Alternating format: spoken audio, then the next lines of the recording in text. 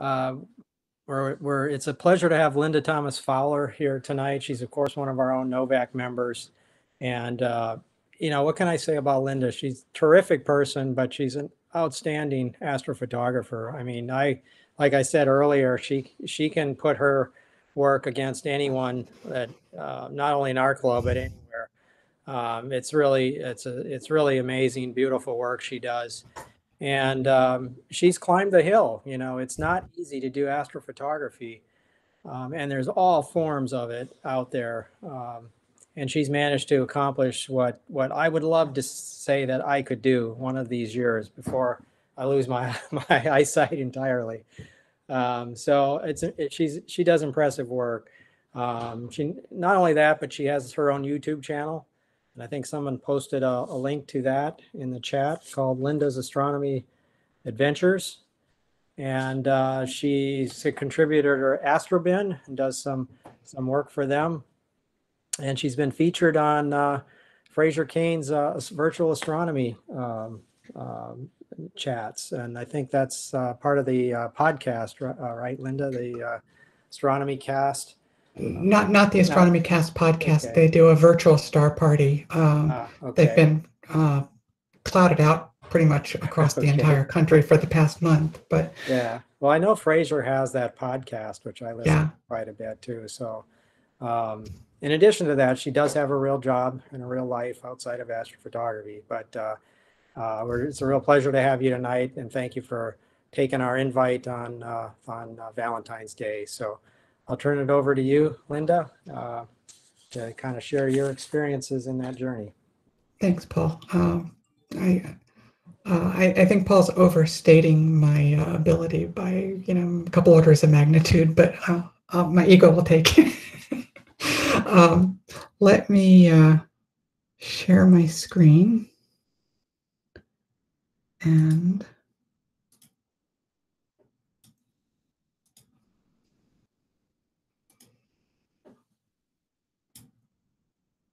All right. So uh, can you see my uh, presentation, Paul? Yep, looks good. All right. So everybody has to start out as a beginner in astrophotography, right? These are, are not skills that we're all born with. And uh, so this is basically kind of a, a documenting my own journey, a continuing journey through imaging. Um, it's uh, by no means am I an expert. Um, I'm every single image teaches me something new. Um, but it is one of the most challenging things I've ever tried to do. And as Paul mentioned, the learning curve can be pretty steep and pretty slippery. Um, so this isn't going to be a technical talk. This isn't going to talk about, you know, how you set up a mount for astrophotography or how you you process things in PixInsight or Photoshop, but it's going to talk about the challenges that I um, that I faced along the way and how I overcame them. So, um, if anybody has any questions, please just pop them in the chat, and Paul, you can interrupt at an appropriate point whenever you whenever you think makes sense. Um, with that, um, why, as amateurs, do any of us do astronomy? There's got to be a lot of different reasons. But for me, it expands my mind and it connects me to things so far so far beyond the conventional of day-to-day life that it keeps me connected to that sense of wonder that we had as children. So for me, science in general and astronomy in particular helped keep me young at heart. Astronomy has been a fascination of mine for as long as I can remember in the long list of childhood declarations about the job I wanted when I grew up, astronaut and astronomer were at the top of my list. Sadly, I listened to others and never pursued either of those, but my love of astronomy and my love of learning about the universe never left me. When I was around 12, a neighbor, knowing my interest, and anyone who was near me for more than a millisecond really couldn't help knowing, gave me a small refractor. I think it was a 60 millimeter Tasco, and I was just thrilled. But I was also soon disappointed. The rickety mount was really hard to point. I lived just outside of Baltimore and could barely see any stars. I was able to view the moon, but that was the extent of what I could ever see with that telescope. But even so, you know, for as a 12 year old to be able to see the moon up close was just wonderful. Eventually, I went to college to study computer science, and ultimately, I entered the job market. And one year, I was lucky enough to receive a bonus at work and decided I was going to buy a real telescope. After a lot of research, I opted for a C8. And around the same time, I was able to connect with NOVAC, and the wonderful people in the club helped me learn how to use it. I still remember the thrill of seeing Jupiter and Saturn for the first time. M13 was the first deep sky object I found on my own. I spent as much time as I could under the stars, but in practice, that wasn't very much. One or two nights a month was all I managed. At the same time, photography had always been an interest, and I was keen to combine these interests. But this was still the days of film, and the technical and financial challenges to astrophotography back then exceeded both my time and my budget. But I was content and happy to be a visual observer. Then I moved away from the area, only briefly as it turned out, but that disrupted my astronomy for years. Then the 2017 eclipse happened. At first, I didn't think my work schedule would permit me to travel to the eclipse, but two weeks before it happened, I realized I would be able to travel. Thankfully, friends in Asheville, North Carolina live close to the path of totality, and their enthusiastic support, along with an incredible spouse who was willing to indulge my obsession, combined to make for an amazing experience. I wanted to try to photograph the eclipse, but I also didn't want to be tied to the camera while it was happening. The application Solar Eclipse Maestro came to the rescue. We traveled to Greenville, South Carolina for the eclipse, and thankfully were treated to perfect weather. Nine of us set up at an apartment complex where one of us lived. We spent the day viewing the eclipse, giving views to other residents, eating lots of food, and generally having a great time. When it was done, I had photos. Many people had had their first total eclipse experience, and the day was a complete success. It wasn't perfect. My daytime polar alignment wasn't great, and I had to keep recentering the sun. It was actually pretty tough to tell through the viewfinder how centered the sun was so most of the images are a little bit off center, but I was thrilled to get any kind of a usable result, especially on such short notice. This was kind of like lighting a match to a powder keg. The urge to dive into astrophotography was back. And with the improvement in technology in the intervening years, it looked like it might be more accessible than ever. I spent the next several months reading about imaging and equipment and deciding on what to do. I knew the C8 that I had would be a terrible choice to start with. Eventually, I bought some equipment. The first piece to come in was the mount. I went out to Camp Highroad and decided to do a wide field shot using my DSLR as uh, the camera and telescope and Orion was my target. It was very cold. It was 26 degrees. Polar alignment with the new mount was challenging. It took me nearly an hour, but eventually it was good enough. I was using Sequence Generator Pro for acquisition, and I couldn't get it to plate solve my images. Plate solving is getting the software to take a picture of the sky, uh, figure out where it's actually pointing, and then correct the mount's idea of where it's actually pointing. But I didn't get that to work, so I ended up living with the off-center framing that I that the mount gave me. I started the imaging run, and I was thrilled to see that I could see M42 and even just barely see the Horsehead Nebula. With an unmodified DSLR, I really wasn't expecting to see the Horsehead, but it was there, and suddenly the cold felt less intrusive. I let it run a bit over 30 minutes until the camera battery died. A fully charged battery that normally lasts hours was depleted in less than a single hour in the cold. Though I had another battery, I decided to pack up and see what I had achieved. That 26 degree temperature had continued to drop, and my horsehead euphoria had started to wear off. I had already taken bias frames at home, and had planned to take darks at Camp Highroad, but the early battery death put an end to that. So I got darks outside the next night, and it was, was still quite cold. I tried to take flats using my computer screen, but as it turned out, my flats were not very good. For those that don't know, bias, darks, and flats are used to calibrate your images. And they're kind of the, the foundation of all the work you do before you actually stack your image together. But I, I struggled through all of that and used PixInsight, the program that I had bought to do image processing, and I got an image. I was excited again. There be nebulae here. But what was that gray arc in the bottom? You might not be able to see it on your screen, but it runs right through here. It kind of looked like it was in the right spot for Barnard's loop, but I really thought it might be an artifact of some sort.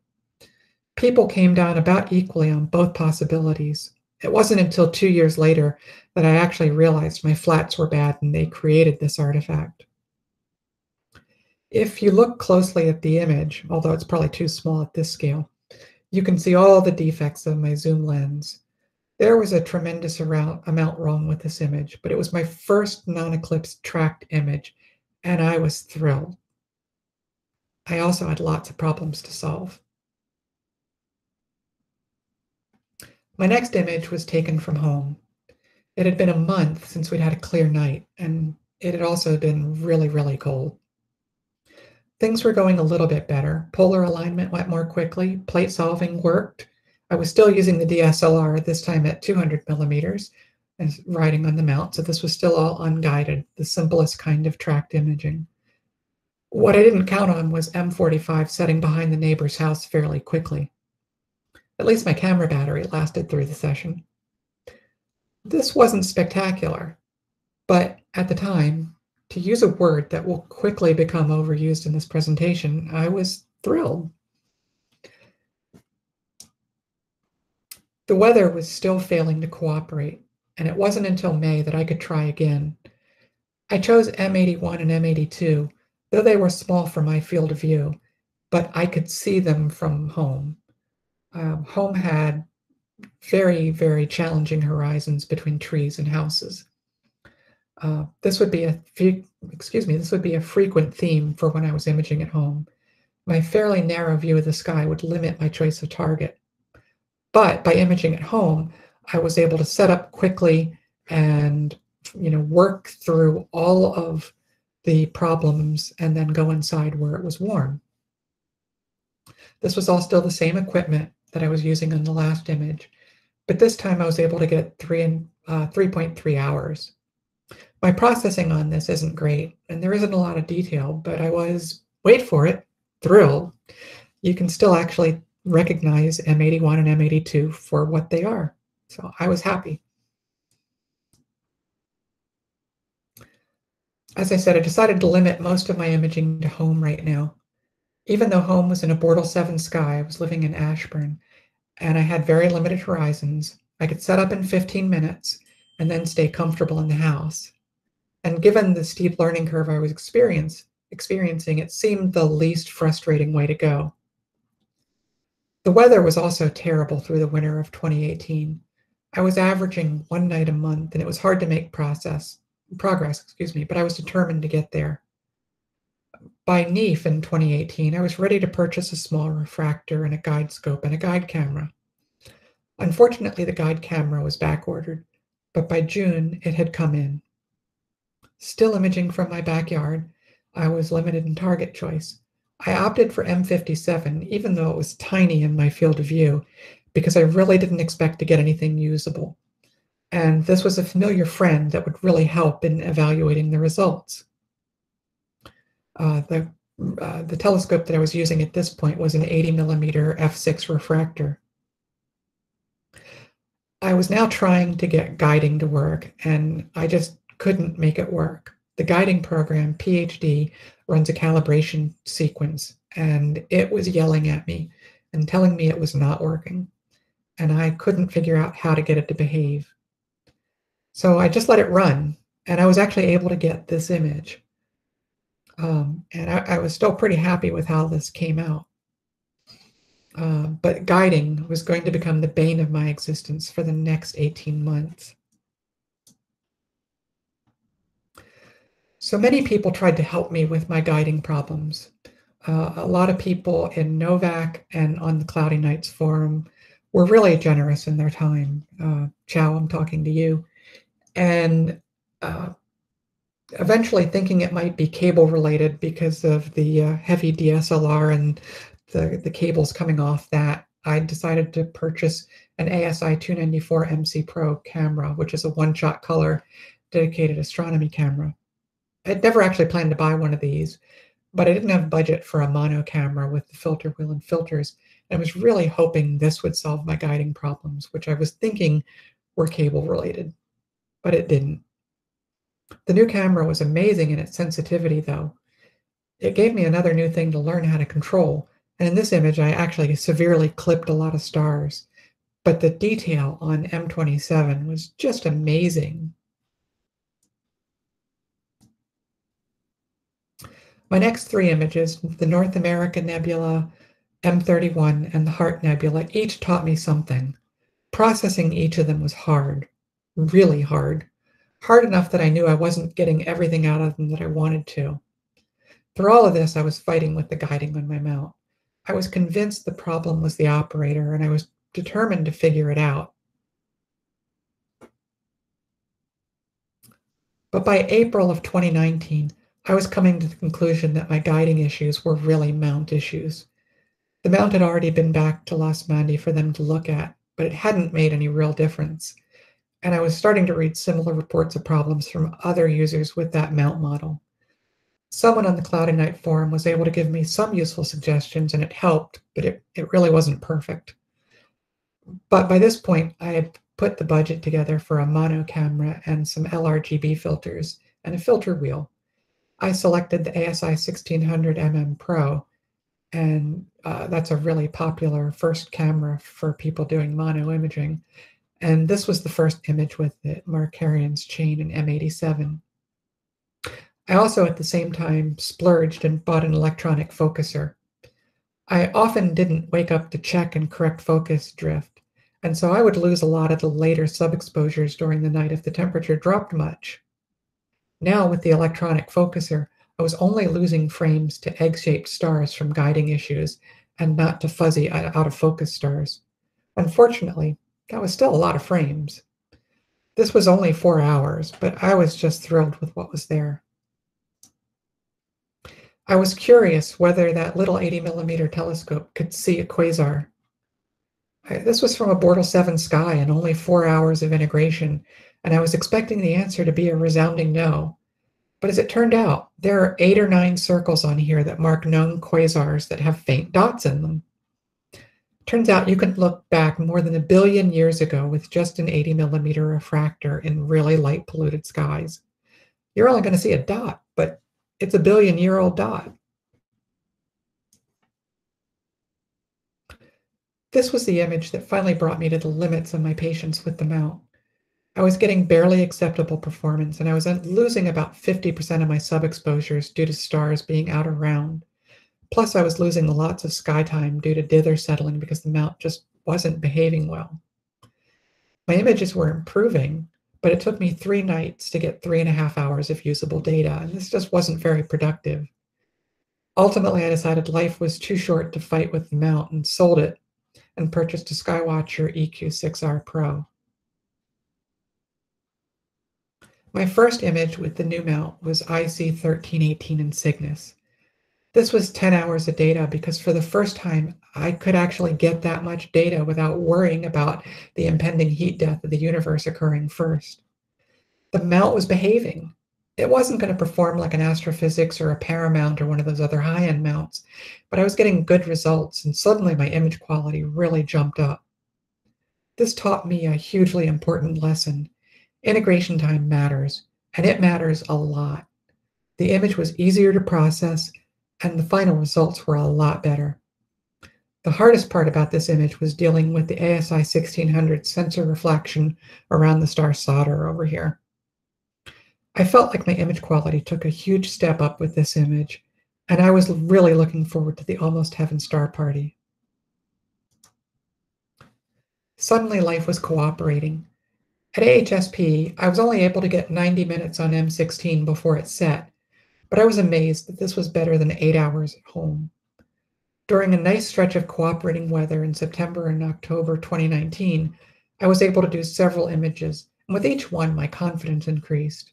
Image processing was still challenging, and I have this tendency to try to push the data a little bit harder than it really wanted to be pushed. But that ended up teaching me a lot about the limits of the data, even if it made me want to pull my hair out at times. My images weren't perfect, even with my terrestrial images, I can always see the flaws more than I can see the good parts. But I was finally getting images that I was proud of, and I was no longer spending a lot of time fighting with the equipment. This crescent was done entirely from home and from Camp Highroad, while the elephant trunk and propeller were a mix of from HSP and home. The crescent was hard to process. Most people don't really even attempt the crescent in RGB, and I really tried to push the data as hard as I could. I wanted to see if an RGB image could get the kind of detail that narrowband images were getting. The answer was no, but it was still kind of amazing to see what I could get. This definitely pushed the data harder than was wise, but it was a really fun experiment. The others are also more typically narrowband targets, but I didn't have narrowband filters yet, so it was dive in and see what I could get. I was pretty happy with how both of those came out. The Pelican, Eastern Veil, and IC 5068 round out the images from this fantastic stretch of good weather. Each one brought me a little more confidence in processing, and I really felt like I was starting to get the hang of this. My last image from that stretch of good weather was the Cocoon Nebula. This was a bit over eight hours, and with this image, I finally felt like I had the basics down and could concentrate more on processing skills than on acquisition skills. Buying the new mount had set my budget back a little bit, but I was finally ready to purchase narrowband filters. The only problem was narrowband filters weren't ready to be purchased. They were out of stock. Eventually, the S2 and O3 filters came in, but the hydrogen alpha filter was remaining stubbornly out of reach. But by January 2020, the hydrogen alpha filter had arrived, and the rosette was my first narrowband target. When the first hydrogen alpha exposure came in, I had to pick my jaw up off the floor. The detail was incredible. I knew narrowband would be a game changer, but it wasn't clear to me beforehand just how much it would be that. This was 14 hours of data, and I chose to process it in a non-standard palette because it matched this vision in my head of how I wanted it to look. Adam Block, a well-known imager, um, says that each image should tell a story. And for me, the story here was energy and danger. I'm not really sure why the rosette triggered that in me, but from that first sub, that's what was in my head. Uh, maybe it was a passing resemblance to the Eye of Sauron from The Lord of the Rings. I don't know. Your mileage may vary on what you see here, but that's what it looked like to me. And and using this palette kind of brought that energy and danger to mind, at least for me. The next thing I wanted to try was combining hydrogen alpha with an RGB image. M33 was the target there. I had 21 hours of data and it turns out that combining hydrogen alpha and RGB was actually pretty hard. Eventually, I settled on this, which makes the nebulae in M33 much more noticeable than they were in the RGB only image. Again, I tried to pull as much detail out of this as I could, and I might have pushed it just a little bit too far. I'm still not 100% happy with the way I did the combination, but overall, excuse me, I was pretty happy with the way this came out. I felt like I was kind of flying high from my recent successes, and I decided to stretch myself and came crashing back down to Earth. Uh, when Comet C 2017 T2 Pan-STARRS came through, I set up to try to uh, image that based on some uh, presentation that Bob Traub and the club had given to the imaging group. And when I tried to do it, I just I couldn't make it work it turns out that the comet just wasn't moving enough from frame to frame for me to get enough data uh, to be able to combine it the way it needed to be combined. So instead, I made this animation, and you, it's hard to see in this small image, but the comet is slowly moving in frame from here down to here. That was the best I could pull out of this. This would have been a little bit easier to do with the one-shot color camera than the, the mono camera, but I was planning on doing some other imaging on uh, DSO in the same night, so I didn't want to change cameras.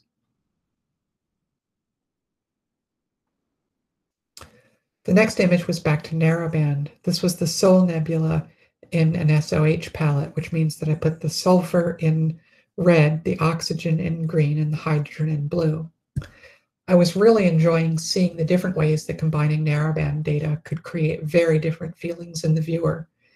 This was a deliberate choice of trying to evoke a particular feeling. The Soul Nebula may get its name just because it's in close proximity to the Heart Nebula, uh, but I wanted to process the data because of the name, the Soul Nebula. To me, the soul was a somewhat ethereal concept, and this color combination evoked that, evoked that ethereal feeling for me. It wasn't until later that I saw a baby rhinoceros in the image, sort of, which might kind of spoil the ethereal effect. Either way, I really love the way this image came out.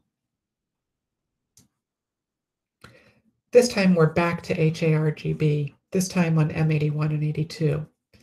I really wanted to see what the hydrogen alpha could do on M82 in its starburst region, and the answer was a lot. Doing the combine again was hard, but I was really stoked to see what this 80, little 80 millimeter telescope could pull out in detail on these targets. In uh, April 2020, I started working on the Leo triplet, and I finally gave up in June because it was setting behind a tree in the neighbor's yard at sunset. I had actually planned to get eight hours per filter, and to simplify the processing workflow, I thought I'd just go get all the green, then all the blue, then all the red. However, the weather had other ideas. But by June, I was running out of time. I had lots of green, but only a little over an hour of red and less than an hour of blue. And then it was gone. So I decided to process it to see what I could get. And it turned out not too bad, but I definitely want to add more time to this in the future. In 2018, I did the Western Veil down here in the left-hand corner. And well, to put it kindly, it was bad. I didn't have a lot of data. I really, really pushed it too hard. And it just, it, it suffered badly. In the summer of 2020, I started collecting narrowband data for it. I had a fair amount of H alpha and O3, but I didn't have enough S2 yet. So I decided to go ahead and process the hydrogen oxygen as an HOO image. So hydrogen in red and oxygen doubled in green and blue, which kind of approximates the, the natural colors. And I was just blown away by how much better this result was. That's this image here in the center. Uh, eventually, I had enough sulfur data and I did an HOS version, so hydrogen in red, oxygen in blue, and sulfur in green. And though it had a very different feel, I was really, really happy with the way it turned out. In the uh, in the top image, I was kind of emphasizing the uh, western veil here. In the bottom image, I was actually kind of more focused on Pickering's triangle, so that's why I changed the framing here. One of the few good things to come out of this whole COVID lockdown was the possibility for my spouse to work from home, something that our company had never allowed before.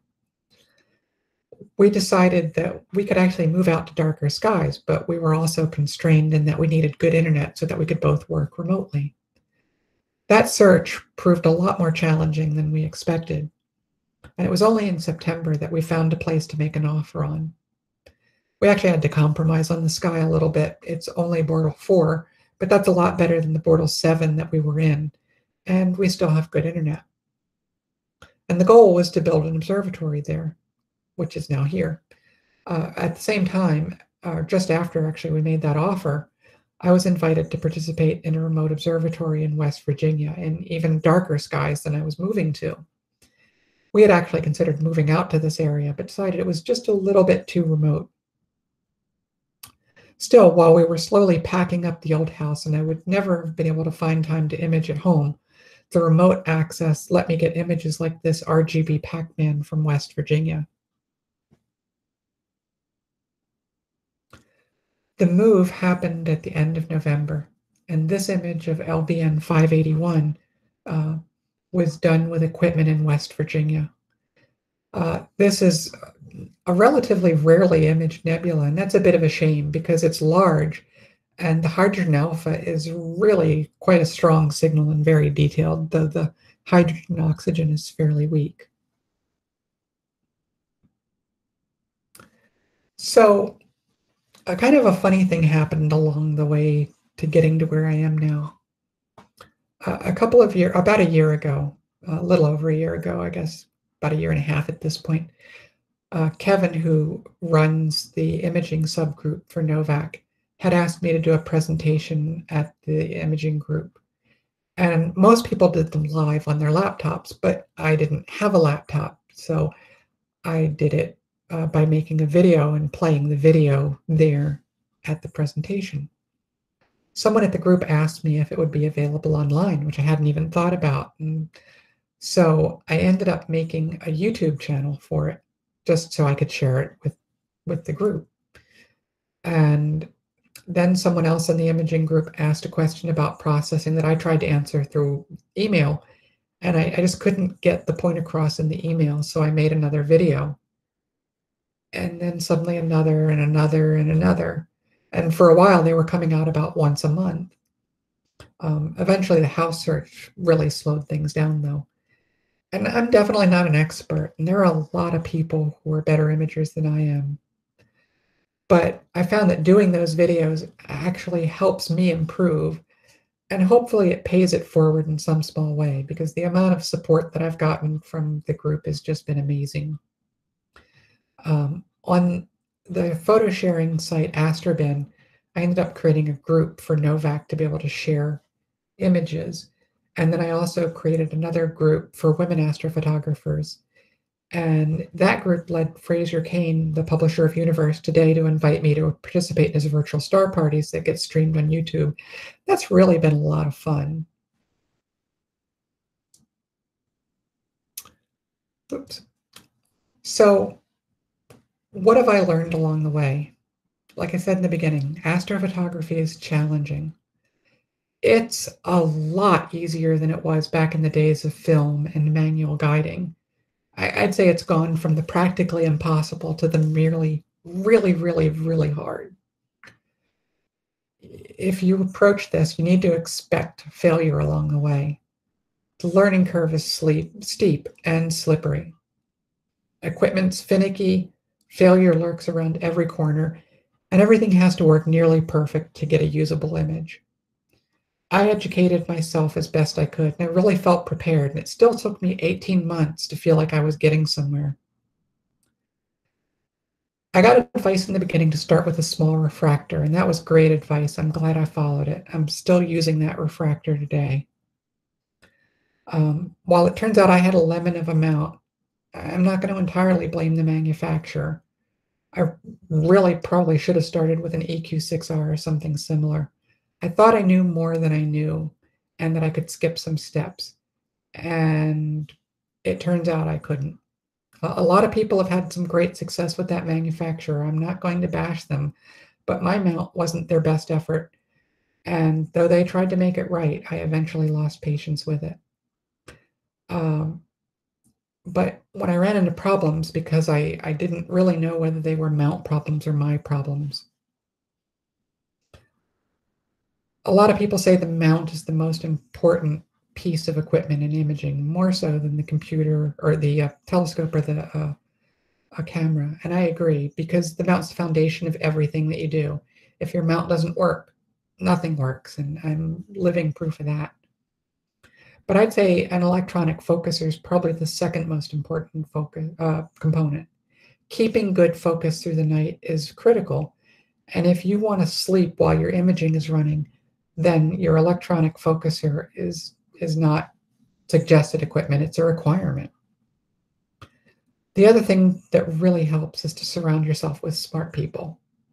Between the people here on NOVAC and in the imaging forum on Cloudy Nights, I had a lot of help. I may not have succeeded without their help. The camaraderie and the depth of knowledge in uh, the NOVAC group is just incredible. And from the bottom of my heart, thank you all for all of the help you've given me over the last couple of years. As beginners, we're all thrilled pretty much to get anything. Those hour long integrations seem magical, but they're actually harder to process than a four, five, six, seven, eight hour integration. The more light polluted your skies are, the more time you need. In the beginning, we tend to ignore that because we haven't seen firsthand how important it is. Or, like me, other issues keep you from getting more time. But spend some time getting eight hours on one target, and you'll see the difference. And to get that time, you need to get repeatable framing from night to night, which means that you need to get plate solving working. Don't skip it. Do it. Do it early. It'll make your life easier, and you'll wonder why you didn't do it earlier. Thankfully, there are some new plate solving packages like ASTAP that are a lot easier to set up than the earlier packages were. The other thing is dither. Dither is a small random movement that your mount makes. And what this does is it gets rid of non-uniform pattern noise in your sensor when you stack, and it'll make your images better. You might be dithering now, but you probably need to dither a larger amount than you think you do, um, especially if you're using a one-shot color camera.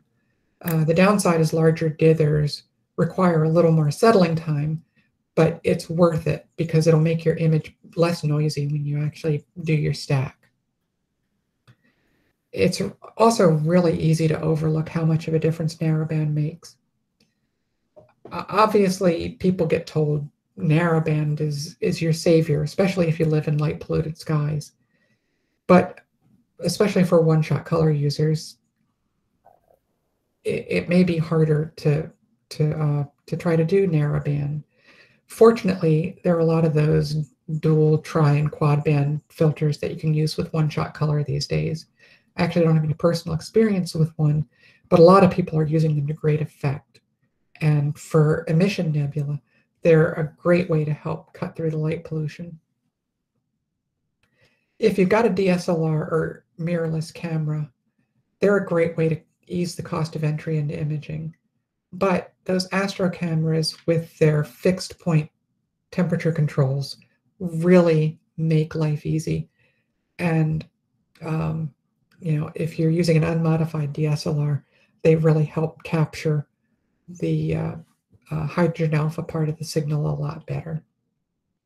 So that's kind of the overview of my last couple of years. Like I said, not a technical presentation, more of kind of a what it felt like to be Linda for the last couple of years and beat your head against the wall fighting with the mount.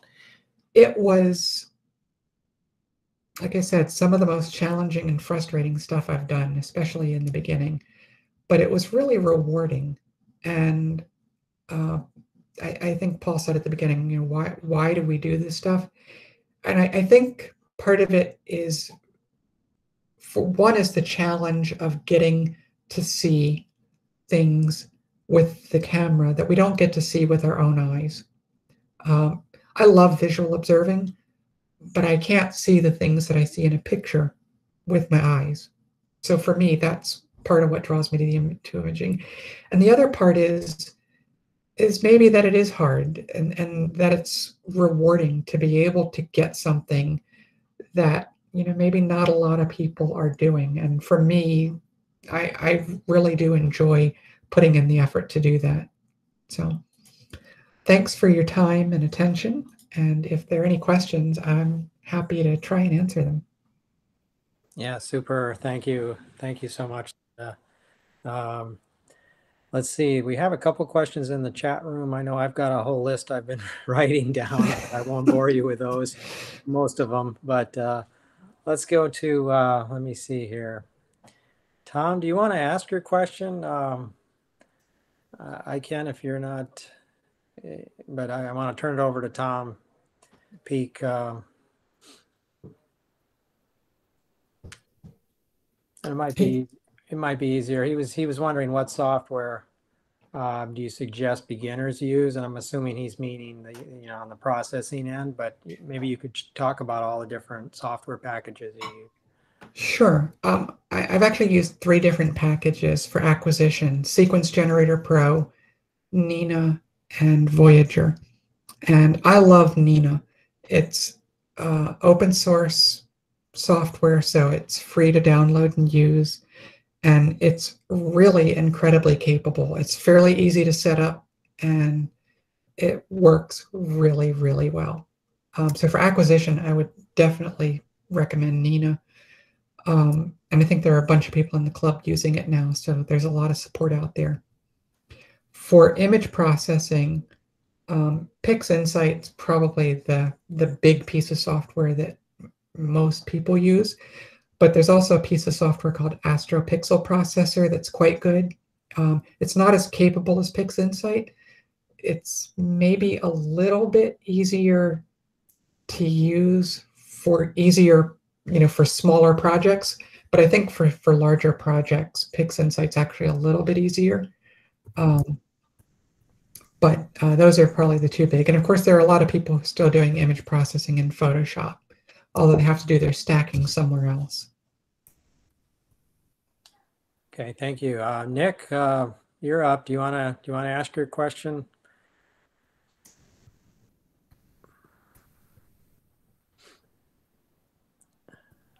Uh, Nick is interested, Linda, in just the, the make and model of your of your current setup, your refractor. Sure. Uh, the refractor is a Stellarvue SV80, uh, which is a, a, a 80 millimeter f6 ref, uh, apochromatic refractor. Um, and the focuser is the Moonlight Nightcrawler, which was uh, a, a, splurge, but I love that focuser. It, it's both the focuser and rotator combined, so it helps me frame the image the way I want.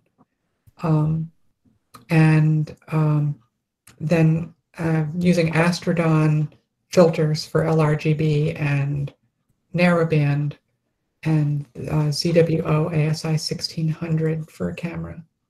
Okay. I know I noticed there's a lot of vendors in that sort of 80 to 100 millimeter range refractor. How did you decide on what you chose versus the other ones? Is it you think there's a big quality difference, or is that what? Um, there are a lot of people in the club who are using Stellarvue refractors that were speaking very highly of them. Um, and I, I, can say the support from Stellarvue has been first class. Whenever I've had a question for them, um, like when I wanted to get the electronic focuser, the question was how to mate that up with the telescope. And support from Stellarvue and from Moonlight working together to figure out how to make that happen I cannot say enough good things about either company. Um, so uh, the reason that I went with Stellarvue was their reputation. They weren't necessarily the cheapest out there, but um, mm. I'm definitely happy I went with them. Okay. Kevin Hosleg, you want to ask your question?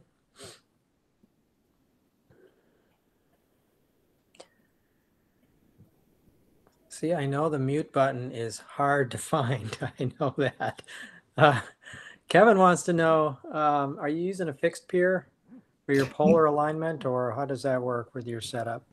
No, uh, well, okay, right now I'm, my telescope is piggybacked on another telescope in West Virginia, so I'm not having to worry about polar alignment.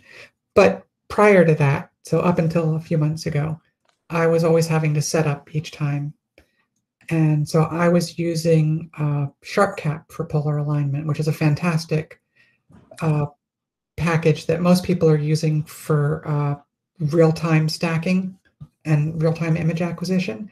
For me, I was just using its really excellent polar alignment module.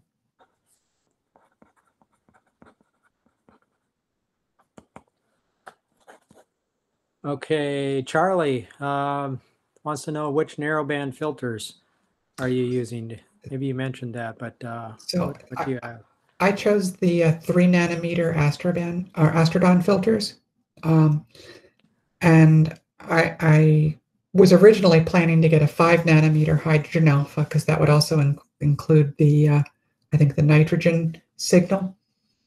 But uh, as it turned out, it, the just wasn't coming in stock and wasn't coming in stock, and they had the three nanometer, so I went for that. Um, I definitely recommend going uh, three nanometer for oxygen, if nothing else, because you're going to have more light pollution slip through in oxygen. Um, maybe not quite as important for sulfur and hydrogen alpha, but uh, for oxygen, definitely. Now, did you, I forget if you said it, uh, apologize. Did you start with a one shot color or you went basically to the narrow? Yeah. No, I started with a one shot color and I never actually intended to, but uh, I thought my mount problems were actually caused by the cables on my DSLR because it was, you know, a big heavy DSLR and, uh, you know, had two cables coming off the back of it. And um, I thought maybe that was just causing the mount to to have issues. It, it turned out it wasn't, but uh, the one-shot color camera is still fun to use, but it's not my primary thing anymore. okay. Uh, let's see, we have a few more here. Alistair McKechnie. Yeah, Alistair was mentioning uh, K-Stars and Ekos, which is another open source software package. Okay.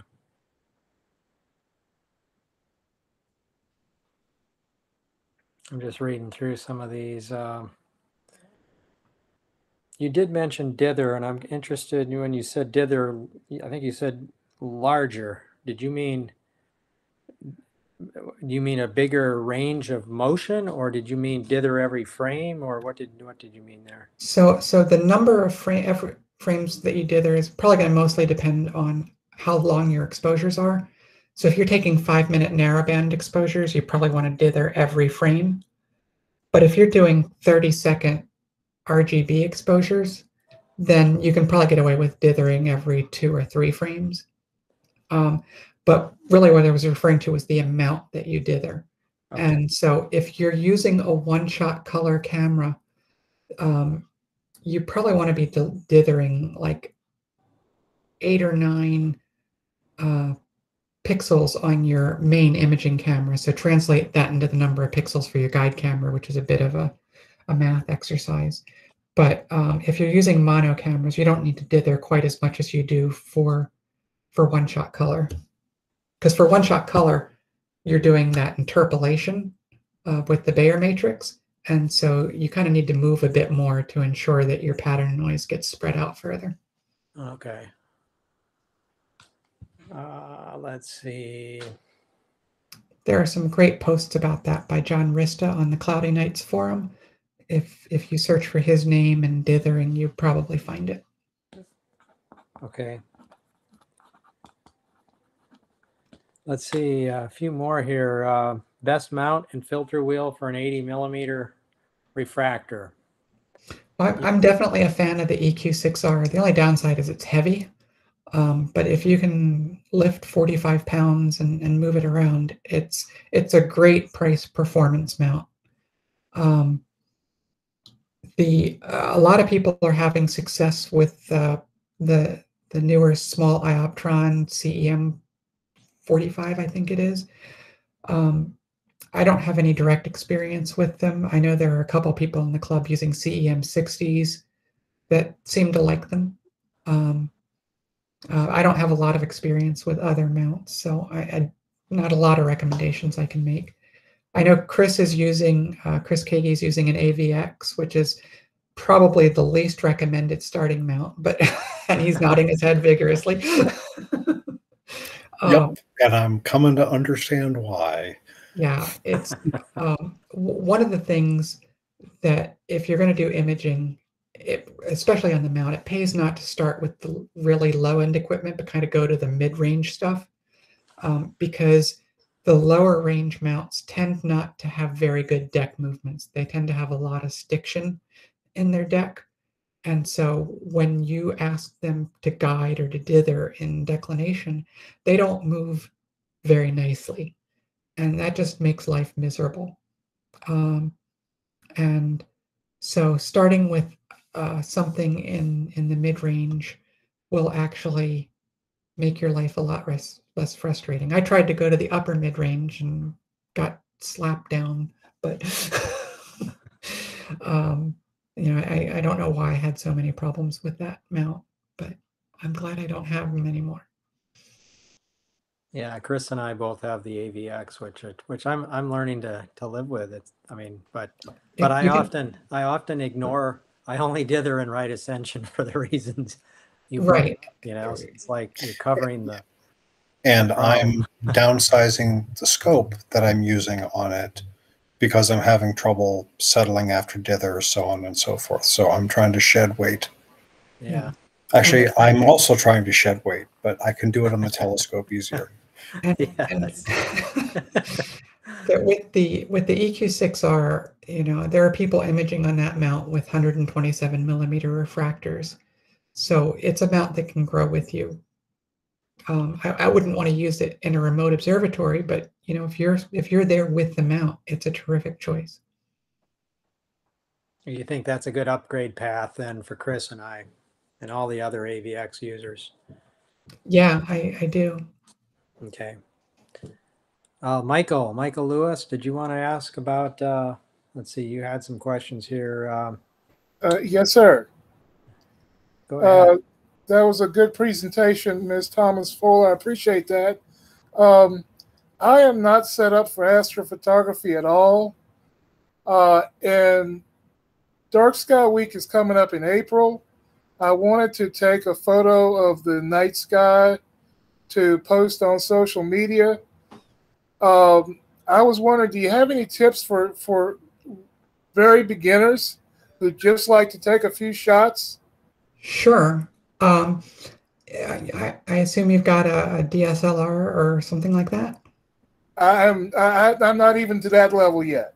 I mean, I mean, just to like reg- take regular pictures. You've got a camera. Uh, I, I I have a cell phone. Okay.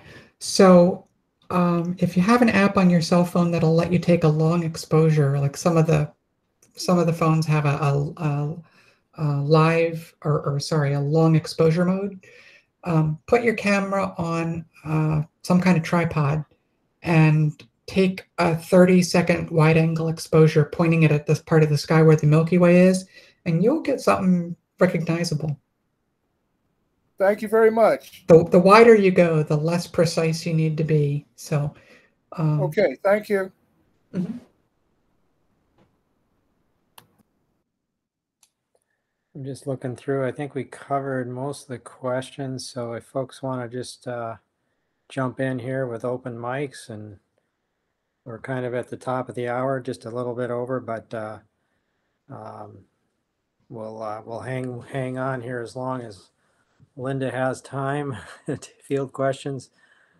Um, Yeah, John posted in the chat about he's read that the EQ6R is the best mount under 2000.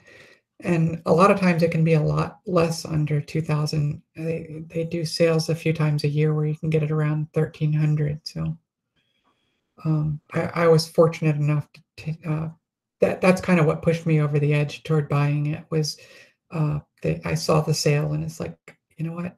I just, for the sake of my own sanity, I need to try this. yeah. Where did you get it from? Did you get it from like OPT or High Point or? High point in my case. Okay. They all seem to go along the same lines. They're all priced the same and the sales are the sa- pretty much the same. So it's whoever has it, I guess. Yeah, Um, yeah. I um my uh my telescope I actually got from High Point at NEAF in 2018. Um, they bought up all the stock from the vendors there, so I got it for less than a new telescope, but with a new warranty. And it was actually the uh, the first telescope that Stellarvue made of that particular model. So uh, it- it's actually a little bit of a telescope with a history, which is kind of fun.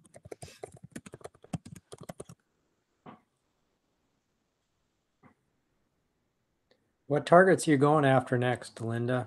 Um, So I have, have two that I'm working on. One is a redo of the Pleiades M45 um, that uh, I'm doing uh, with the telescope out in West Virginia. I've got about 10 hours in on that, and I'm hoping for more, but the weather just hasn't been cooperating. Uh, maybe 12 hours. Um, and then the other thing I'm working on is the Cone Nebula in narrowband. If we ever get to open the roof out there. Uh, there was a, a question about resources. So there's a book that I would recommend called The Deep Sky Imaging Primer by uh, the author's name is escaping me at the moment. Um, there's it's the second edition of that book is the one that you want. It'll take you through everything from equipment selection through processing. And I'm not really a fan of those style of book in general. A lot of them um, kind of do lip service to the subjects that they're they're doing and don't really take you into the details of it. But this book is fantastic and it's incredibly accessible. It's one of the best written how-to books I've ever seen.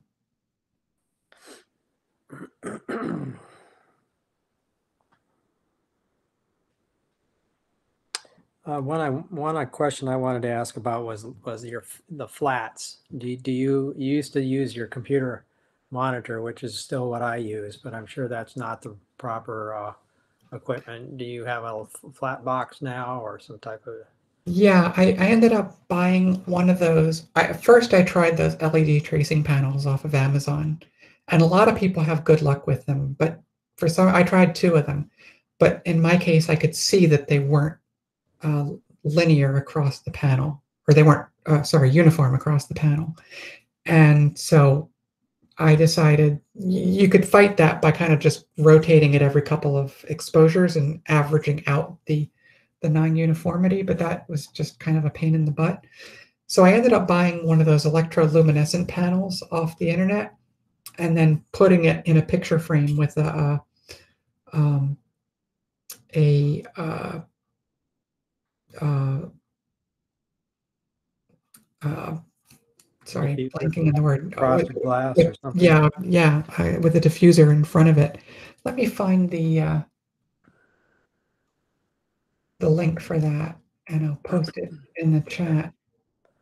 Um, because they weren't hard to build and they weren't expensive to build, and I am like the least competent person when it comes to mechanical stuff. So if I can do it, anybody can do it. That's the link to how You're I getting good results from that. Okay. Uh, yeah, it, it works great. Um, Nice. and you just set it on top of the telescope and shoot your flats, and it does its thing. It's not if you're using a one-shot color camera, your your peaks are not going to line up because it's not white. It, they tend to be bluish, but it still works fine. Okay.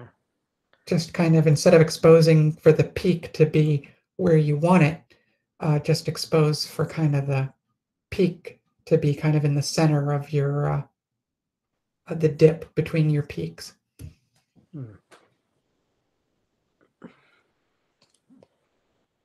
All right. Anybody else have any questions?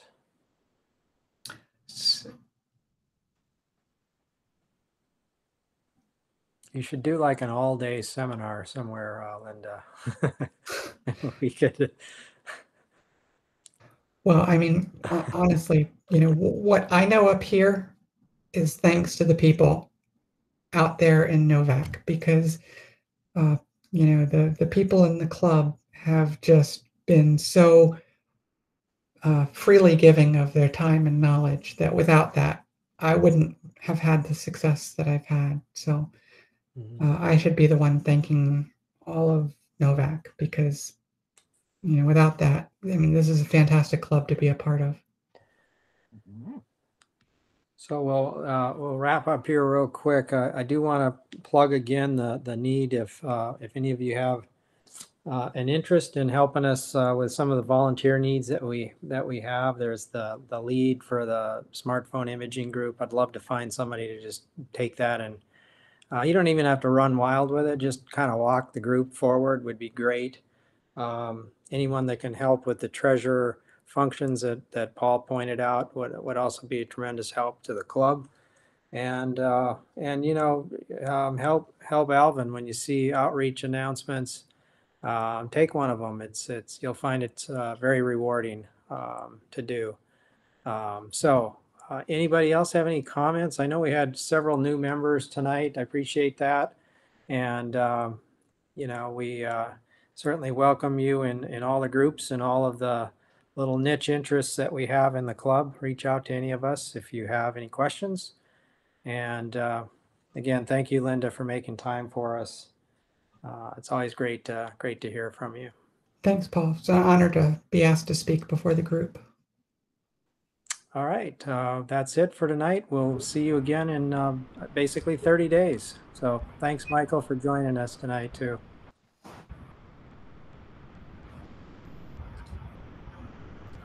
Thank you, Good night, everyone.